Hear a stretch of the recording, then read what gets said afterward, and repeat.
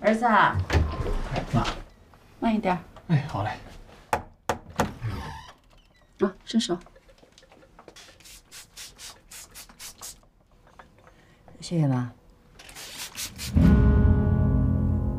我跟你说，我买了后天回去的火车票了。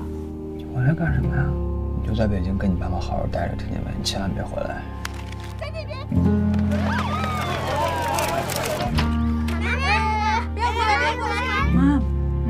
不会不要我了吧？我很多朋友没有工作了。现在是我被确诊了，凭什么是我搬出去的？你们的命都比我重要，是吧？我就是妈宝，怎么了？我要喝口水。我警告过你啊！这个家只有我一个人住吗？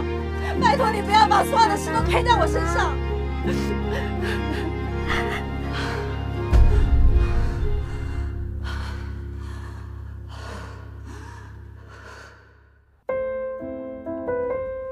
谁在弹琴啊？我姨姥姥。